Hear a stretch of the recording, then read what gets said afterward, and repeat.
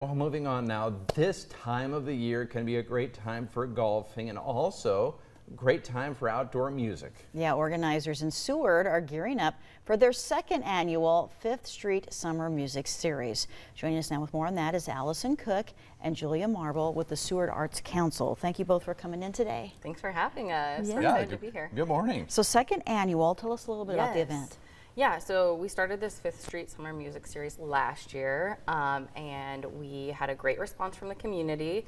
So we decided to do it again this year. Mm-hmm. So um, we're with the Seward Arts Council, and uh, we have three dates go, coming up this year. The first one is on Saturday, June 8th, um, and the Raw Nerve's going to be playing from 5 to 8 p.m. So it'll be a good time. Where does this happen? This happens in Seward at our community bandshell, which is just right off the square. Um, it's got tons of outdoor seating. It's a beautiful outdoor stage. We'll have the street blocked off, so we'll have like food trucks, snow cones, some adult beverages, some other vendors. We have some carnival games and things like that. So it'll be a really family-friendly event, which we're excited about. That is cool. Raw Nerve. Yeah, is the Raw that, Is that the one that's made up of dentists? Yes. Yes. Yes. I think. dentists. Yes, Yep. that's love- right. They're, they're just, yeah, that's Yeah. Our awesome. orthodontist for our kids. I believe Right. you. He's in the group. Yes, Dr. Shocker. We got to Yes. give him a shout out. I. Yes. Of course. Julia, what does this mean to the community to have this going on in Seward? Yeah, one exciting thing is that we were just certified as a creative district with the state. And when we sent out a poll to the community asking what they valued the most, they rated the Summer Music Series as their number one choice. So I think what that tells us is it really is an opportunity for people not to have to go very far to experience a wonderful event. So we had families come with their kids. We tried to make it um, very open and family friendly. Um, and so it's like all people from all generations were able to come and celebrate music, be outside, um, enjoy a summer evening. Um, and so it's something that we really want to make sustainable and part of the Seward summer scene every year. Yeah. Very smart to do when you have that great band shell there. Yes. Uh-huh. Yeah. So um, again, let's go over the details when Yeah. the first one's happening, and then what's coming up then in the future. Yep, so June 8th is the first one. July 13th um, is B Street Band.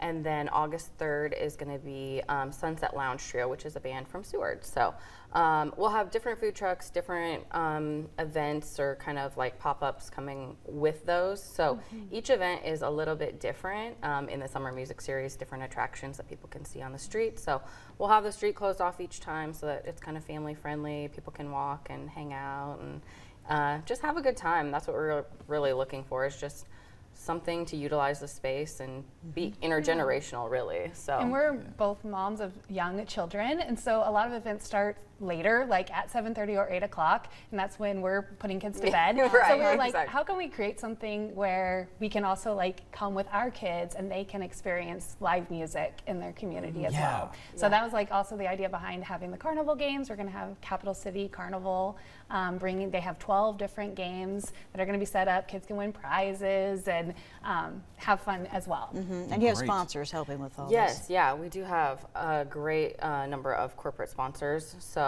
um, we have uh, Jones Bank, which is in Seward, Jones Group, Allo, of course, Cattle Bank, Seward and Lichty, Aspire, and then um, Seward County Gives, which just wrapped up at the beginning of May. Um, and then obviously the Seward Arts Council, we are the ones that are putting on the program. And then, of course, it's in our certified creative district. So Okay. um, we got a lot of support from the community for last year's event, so we're hoping that the community comes out again this year. Um, it's a little bit bigger and better than last year, so we're really excited. We got to add a lot more fun things like on the street for this year, so uh, it's it'll be a good evening in Seward. Yeah. Sounds Good. All right. Well, thank you both for coming in. Yeah, thank you mm-hmm. guys. All right.